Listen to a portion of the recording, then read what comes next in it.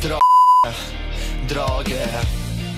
Non mi fanno stare bene. Nessun messaggio di scuse via social, ma pure una presa in giro di quanti hanno commentato con sdegno il videoclip rap pieno zeppo di offesa alle donne, parolacce e gesti ingiuriosi, girato nel cimitero della guerra austro-ungarico di Aurisina, dove riposano i resti di 1934 soldati. Paolo Zamaro, in arte Sanks, leader del duo rap, ha invece preso in giro su Facebook i post di condanna del gesto e pure la posizione del sindaco che ha allertato i carabinieri di Aurisina. I militari hanno già identificato il 23enne triestino proprio attraverso i social e sono pronti ad agire sentita la Procura della Repubblica.